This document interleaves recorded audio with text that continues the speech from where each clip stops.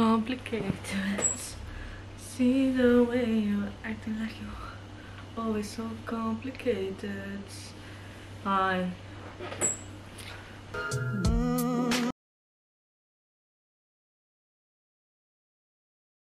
Olá a todos, bem-vindos aqui a mais um vídeo com você, Almond River.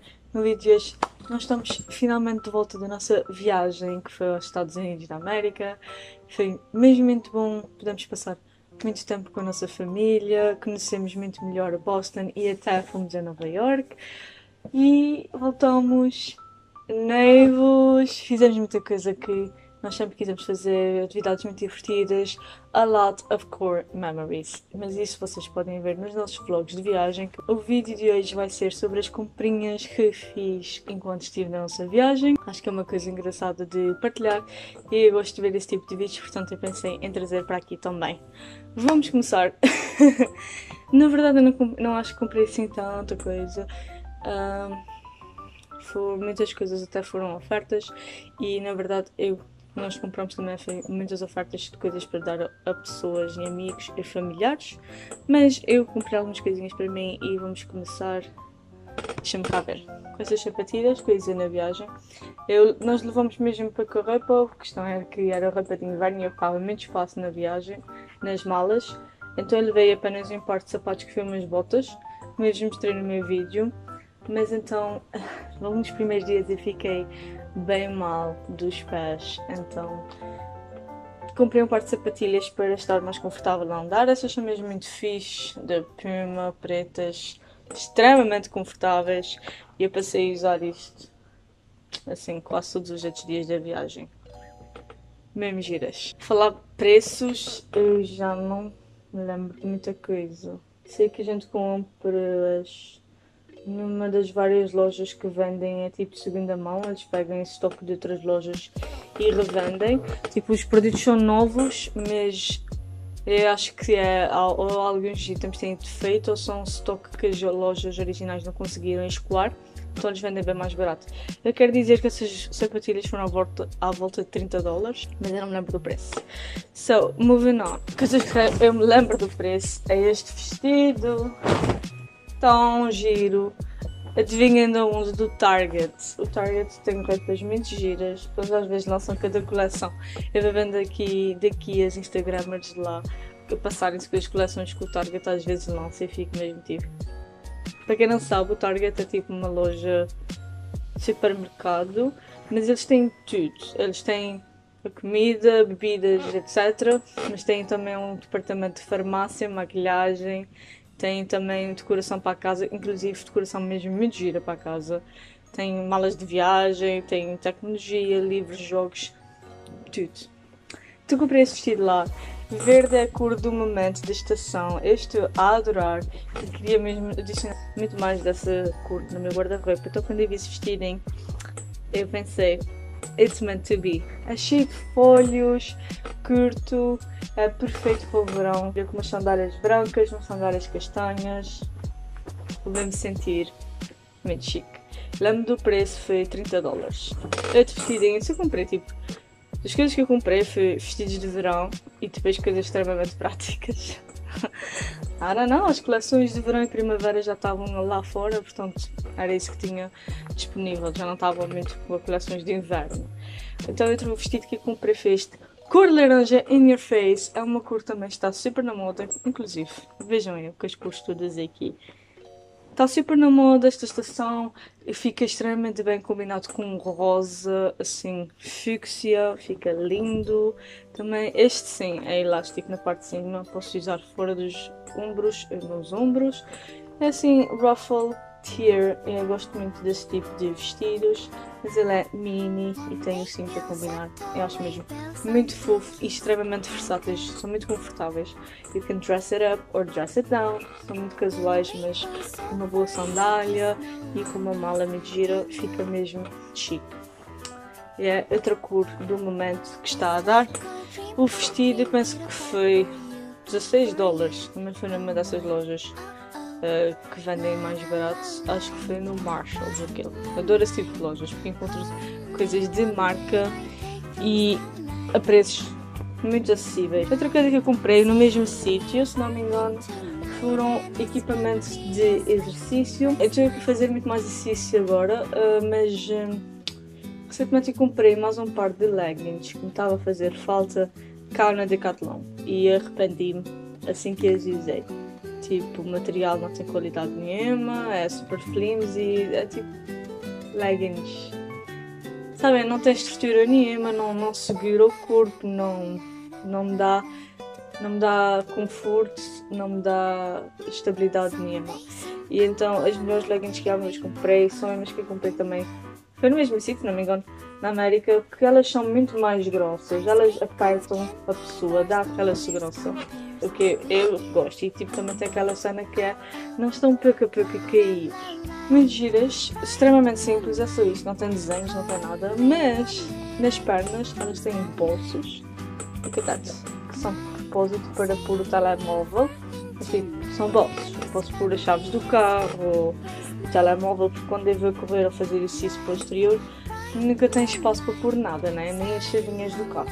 Portanto, eu gostei mesmo muito desse detalhe, que eles têm os bolsos, podem ver, tem essas costuras pela perna abaixo, que dá, pronto, dá um estilo extra, né? Mas também dá aquelas, né, sinto-me mais segura na roupa. Vejam vocês não estão a perceber. Tem nada a ver com as outras. Trouxe dois pares. Trouxe este azul bebê e este que não tem os bolsos, mas eu não resisti porque tem as riscas de outras cores. É super giro. A marca é Alphinix e esta é X-Gotex. Afinal não conheço nada. é fixe. Claramente eu não me importo muito com marcas, não é? Então, trouxe para combinar mais um. Uh, de desporto. Este é mesmo giro. Então, azul escuro combina com estas calças. Oh, faz um conjunto super giro. Vocês até podem notar que o azul não é o mesmo, mas I don't care. E fica bem também, fica meio giro que calça bege. Bege, azul bebê, calça clara. Este, este é extremamente confortável. Ele tem um fecho na frente o que deixa. O primeiro é muito fácil de vestir, facilita muito. Eu tenho que é tipo com as alças como se fosse um sutiã de apertar atrás e é muito difícil de vestir porque estes sutiãs assim são extremamente apertados.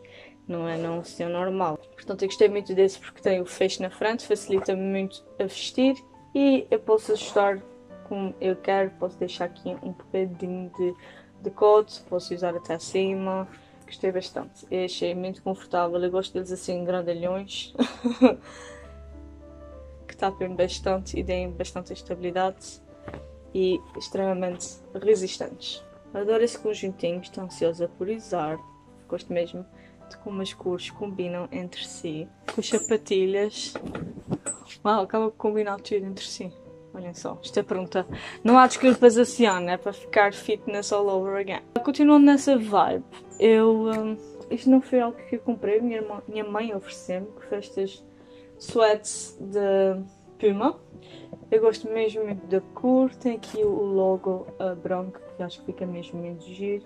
Também quando eu combino com uma parte de cima branca, também combina com as sapatilhas, que tem aquele toque de cor de rosa.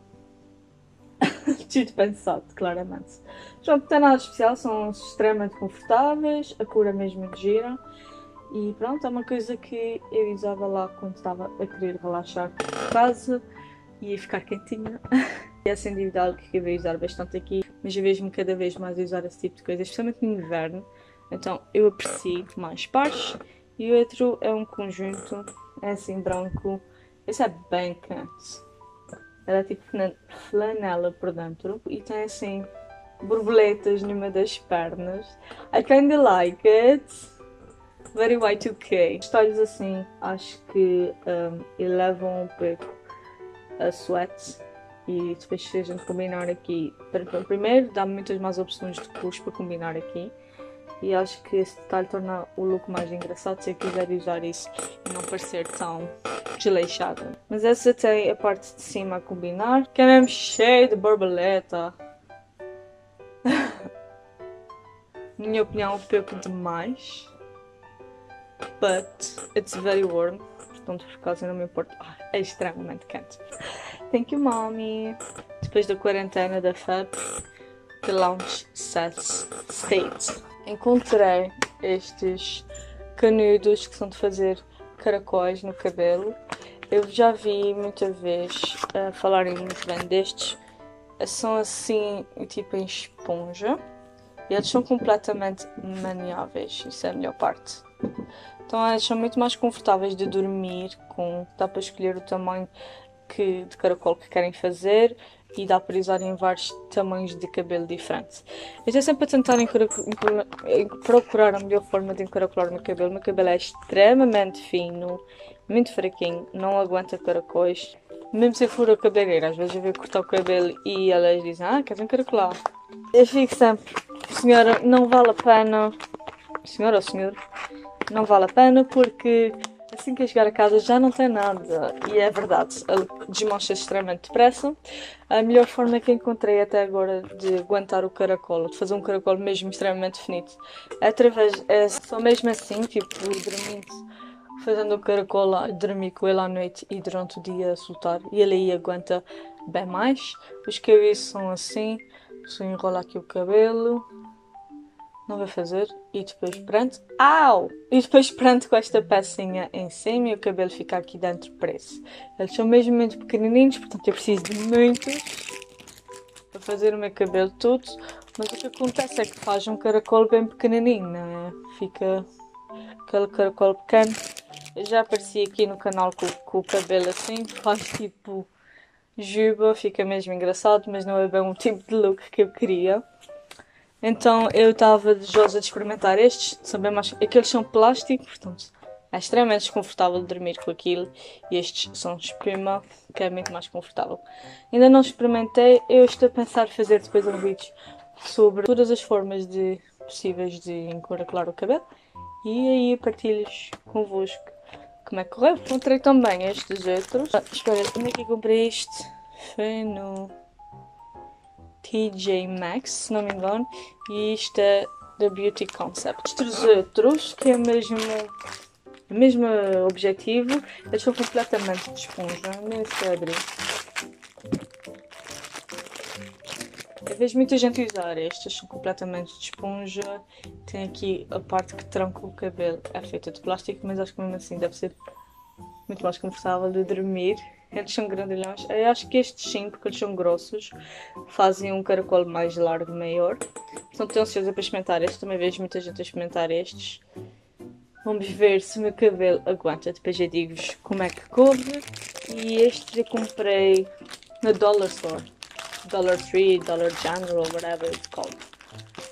So, amazing. Vê um set de 8, o que acho que devia ter comprado mais um pack. Já que estamos na linha da beleza, outra coisa que comprei, que se calhar vocês já viram no meu Instagram, foram máscaras faciais. Eu estava muito ansiosa por experimentarem, mas assim, mesmo gostosas. E encontrei estas que são coreanas. E a da Hello Kitty, primeiro que tudo, how cute are those? Eu não trouxe embalagens de quase nada. Por exemplo, isso vem na caixa, obviamente que eu não trouxe, porque ocupa muito espaço na mala. Mas vem um set de três. Eu e o André já fizemos juntos, porque nós estamos. Uh, tivemos que fazer um tratamentozinho à pele porque estava extremamente seca de tanto viajar tipo, em avião. Levámos o dia todo a viajar e estragou muito a pele. Então, quando chegamos, fizemos uma máscara e foi muito bom, são muito cheirosas. É uma sheet mask, portanto, é uma folha que aplicamos por cima da cara e é extremamente úmida, vem com um cheiro delicioso, aprecia comer, diz que é com ananás e ácido hialurônico e é suposto hidratar e dar brilho. E realmente hidratou. A minha pele, eu estava a senti-la muito áspera e assim com uns bumps e depois de fazer ela volta muito mais ao normal, está-se muito macia, muito mais macia e assim mais reestruturada, é assim. Portanto ainda tenho mais uma para usar, muito boas e é ver tentar passar a procurar mais máscaras da Coreia. Eu já tenho uma máscara que é um pote em gel que é um produto coreano também, eles são muito bons nos skincare. Mas assim, sheet masks eu não costumo fazer, mas isto acho que me converteu à ideia de experimentar mais. Gostei e recomendo. Eu comprei isso no Marshalls. Ah, vamos falar aqui de um produto que eu adorei e usei todos os dias, praticamente, que é o que eu estou a usar neste momento. É este batom da Clinique, vem num set de 3. Eu vou mostrar aqui a caixa que tira uma fotografia. Mas esta foi a cor que eu mais adorei, eu nem gostei muito das outras. É lindo, é assim em formato de crayon. É extremamente macio. Muito fácil de aplicar. É, é o melhor que alguma vez já vi. Dá uma cor linda, extremamente forte e não seca nada. É como se fosse um batom hidratante. Este é o melhor produto da Clinique que alguma vez vi. Pois isto é um bálsamo hidratante, mas é com cor intensa. Eu costumava usar os da costumava usar, ainda uso, os Baby Lips da Maybelline, que são assim pequenos. É um, um batom hidratante com cor. Eles no início eram muito mais fortes uh, eu usava o vermelho e ficava mesmo assim com o lado bem pintado. Mas eles agora ficaram muito mais. Não dá muita cor, fica muito mais tipo só lábio hidratante.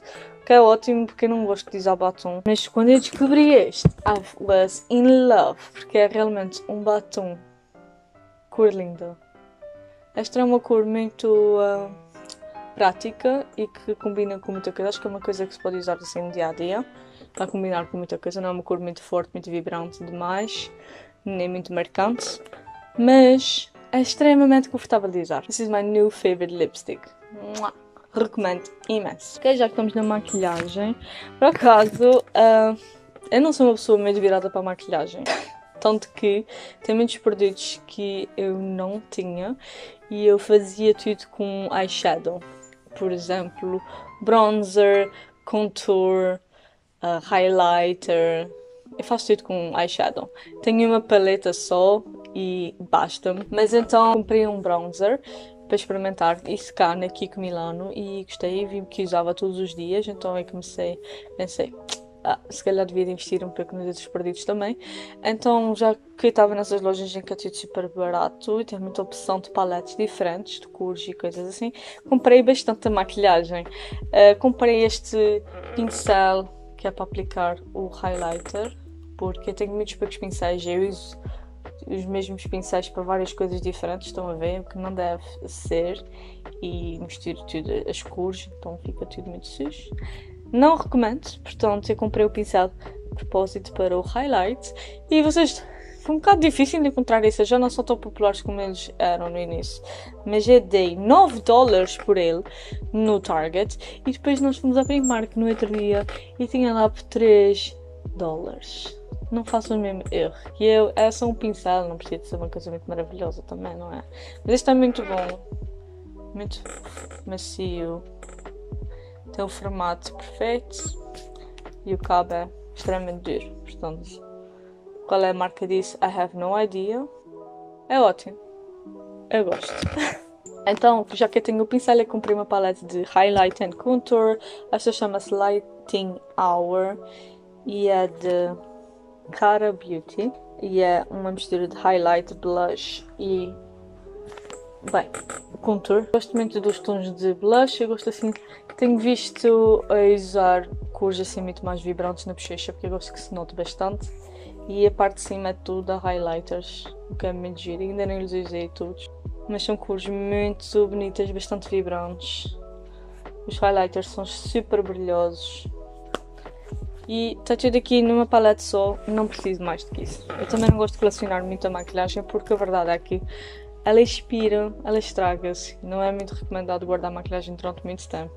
I know this, eu tinha uma mesma paleta de cores já muito ano e só há uns anos atrás é que a deitei fora, finalmente ganhei consciência. Um, mas já, yeah, não se deve acumular muito porque é impossível gastar isto tudo, tipo, até baixo num ano. Não uso assim tanto maquilhagem. E portanto não vou comprar três paletes diferentes porque não vou gastar tudo e depois vai-se perder. Be conscious, ok? Outra paleta que eu comprei. De que vão dizer isso, não? Eu comprei esta primeiro. Eu encontrei esta primeiro e depois é que encontrei esta. Eu acho que se eu tivesse encontrado esta primeiro já não comprava esta. Porque elas são grandes, não é? Mas. Pronto. Olha, este é o teu preço. Não me lembro dos preços disso. Esquece. Deve ter sido 4 dólares, 5 máximo 6 dólares, porque essa também foi 6 dólares no Marshalls. Esta é também bronzer, highlighter and blush. Se bem que tem umas cores assim mais escuras. Chama da Alan Tracy, chama-se Shimmer Glow. Packaging fabulous. Vejam cá as cores. Tem muito mais opção de cores. Ainda tem os plásticos. Look at that. Beautiful. Maquilhagem é viciante de comprar. It's dangerous. Because everything is pretty. Tem sempre uma cor nova. É, é preciso ter cuidado. Mas então aqui tem uh, mais opções de contour. Esta cor é muito melhor do que a outra para o meu tom de pele. E uh, todas as cores têm um brilho incrível. Este dourado é lindo. Adoro usar cor de rosas e roxos e laranjas, portanto eu acho que vou tirar muito proveito desta paleta, apesar de ter aqui outra. E comprei mais uma. I promise this is the last. Eu passo três até agora, ok? Por aquela mesma que tinha, I think we're ok. Esta também é da Cara Beauty, chama-se Cara Duo. Uh, you Had Me at Aloha. E esta é só eyeshadow. Eu queria algo que tivesse mais opções de cores, porque a que tem agora tem nove cores, não tem muita opção. E eu às vezes brinco muito com maquilhagem e tenho, gosto de usar uns looks assim bem que uso os óculos, então se eu uso neutros não se nota. Então às vezes eu gosto de brincar com cores bem vibrantes. E era isso que eu queria. E esta paleta não desilude. As cores são extremamente fortes, berrantes. Tem montes de tons de azul para experimentar. E rosas e laranjas. São mesmo muito divertidas. E tem umas que são extremamente brilhosas. Tem, tem que até para experimentar. Acho que elas estão todas a aparecer um bocado baças na câmera. Tem muita opção de cor, que era o que eu queria. Eu não. Eu abro isso e fico feliz e tento outra coisa. Fica assim tipo. O que é que eu quero hoje? Se vocês estão a preferir uma paleta assim com muita opção colorida vibrante, recomendo. A maquilhagem já está, não era assim tanto. Outra coisa dentro do departamento de higiene, I guess. Eu trouxe estas um, tiras que são para branquear os dentes. Nós não chegamos a experimentar lá, obviamente não trouxe a caixa porque era uma coisa que eu ia ocupar muito espaço. Então trouxe, não chegamos a experimentar lá, então trouxe para experimentarmos aqui. São da Crest. Não sei se é nenhuma, mas tiras que se aplicam nos dentes, deixa-se por 30 a uma hora e supostamente branqueia mais os dentes. É uma coisa temporária, vocês, não é algo que vai durar por anos. Não sei até que ponto realmente vai-se notar a diferença, mas depois de experimentar eu digo-vos se valeu a pena, era uma coisa que eu queria muito experimentar e então nós trouxemos. Mais uma coisa relativa ao departamento de higiene, I guess, skincare. Eu comprei esta máquina que é para esfoliar a pele e fazer limpeza da pele. É indicado para usar na cara. Eu já experimentei e acho um pouco muito uh, agressivo à minha cara. Eu tenho pele muito sensível, mas é sem dúvida excelente para fazer esfoliação no restante do, do corpo, nos braços, nas pernas, imaginem. Eu uh, tenho muitos mais problemas de acne noutras zonas do, do corpo sem ser na cara e acho isto demasiado agressivo, mas para a restante, para restante outras áreas não. Traz duas cabeças diferentes. Tipo, eu vi estas máquinas everywhere. Um dragzão tanto comigo que acabei por trazer. Ela foi mesmo muito barata, penso que foi de 6 dólares. Traz essas duas cabeças, esta é de silicone, assim mais durinha. E essa é tipo escova. É muito fácil de encaixar e desencaixar. Funciona a pilhas. E tem duas velocidades diferentes. É, se for fazer esfoliação é muito bom. Ai, o cabelo. Mas é um bocadinho violento na pele sensível. Portanto, tenham isso em conta. Mas é mesmo muito engraçado e foi muito barato. Estes brinquinhos foram na Primark. Foi. Foi na Primark. Uh, eu estou sempre a perder as minhas argolas douradas. Infelizmente. Então, ou elas partem ou elas me caem e eu perco o par. Então eu trouxe mais um par que eu adoro este tipo de brinco assim grosso dourado, é o que eu uso basicamente todos os dias.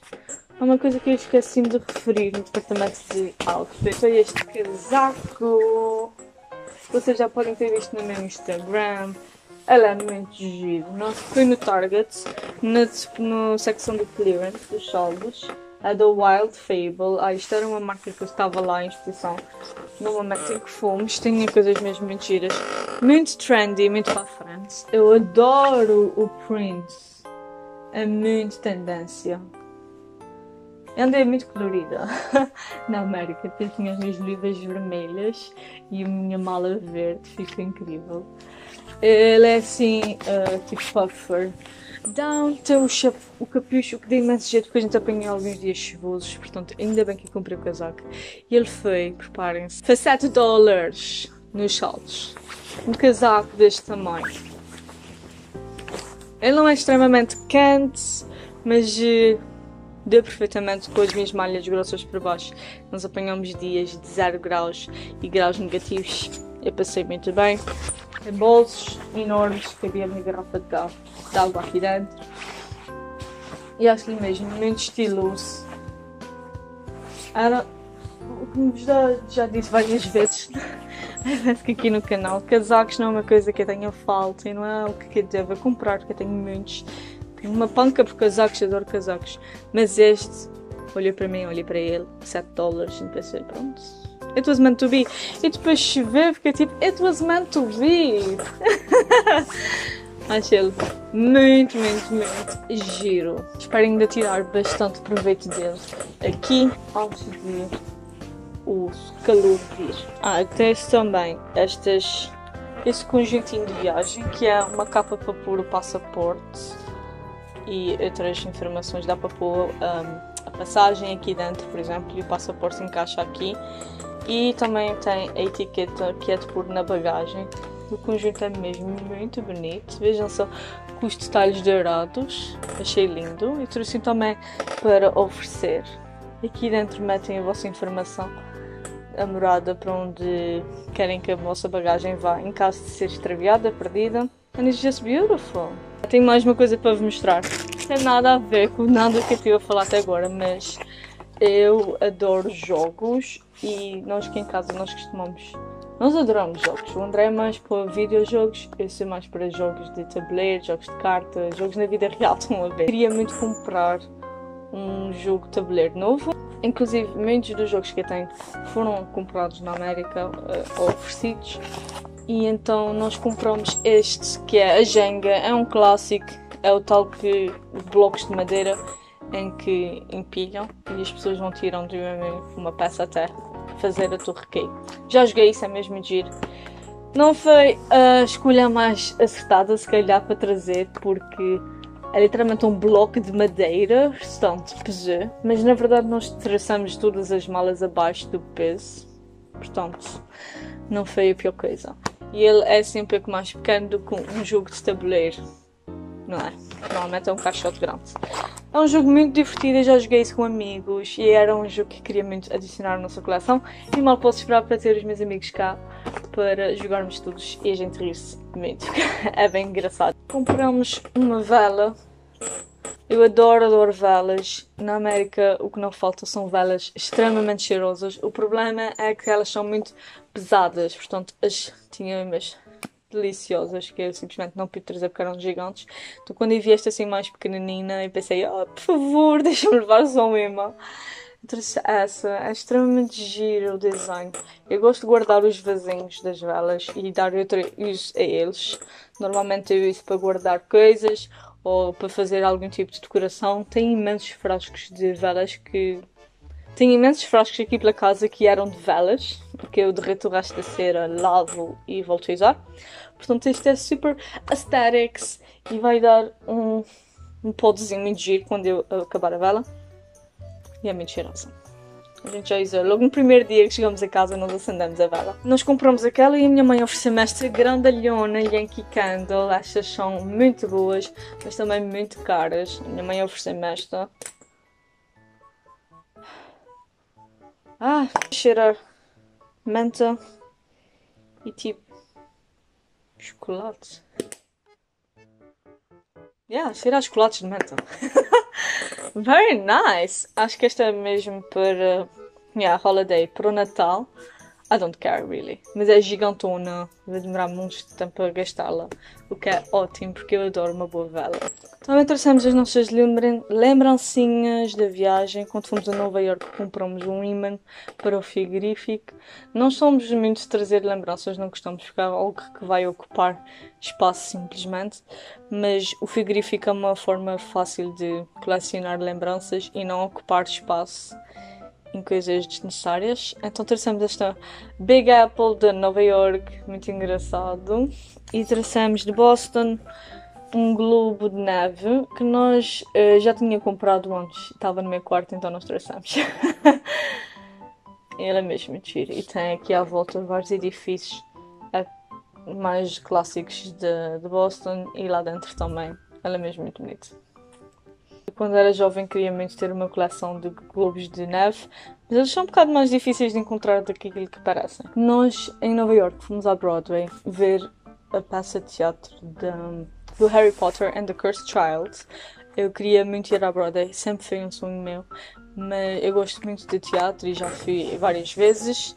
Sempre que havia um, um país diferente eu tento ir, mas uh, o André é maior fã de musicais, então eu tentei escolher algo que ele também fosse gostar, por isso fomos ver o Harry Potter. Ele adorou, nós adoramos, a história era mesmo muito interessante. Então nós fomos a uma loja que chama-se Newberry Comics, que é tipo uma loja de geeks, mano.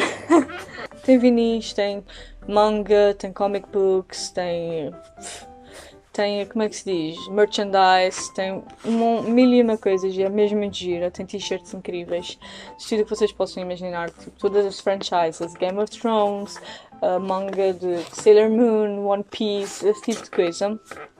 We are geeks, yes. Então nós compramos o livro do Harry Potter and the Cursed Child para conhecer melhor a história, não é? A peça de teatro acho que é um bocado reduzida, se bem que essa história foi criada para ser peça de teatro, portanto deve ser bastante fiel. Uh, tanto que isto aqui é escrito em forma de diálogo, uh, um play script, não é uma história, não é uma prosa. Mas então nós gostamos mesmo muito da história e decidimos trazer o livro connosco. E foi comprado aí na Newberry Comics. Ele foi 12,99, extremamente acessível e é algo que estamos os dois para ler. Pronto, eu acho que está tudo. Claro, obviamente compramos coisinhas para o André, mas eu não vou partilhá-las aqui. Uh, e compramos muitas ofertas para dar a amigos e familiares que eu também não vou partilhar aqui. Também mal posso esperar para experimentar estas coisas todas. Depois eu vos der algo em follow-up. Podem acompanhar pelas stories do Instagram e vão definitivamente aparecer as minhas opiniões no Instagram uh, Elmon River. Espero que tenham gostado deste vídeo. Não se esqueçam de deixar like e fazer subscribe aqui ao canal que me ajuda imenso. A gente vê-se no próximo.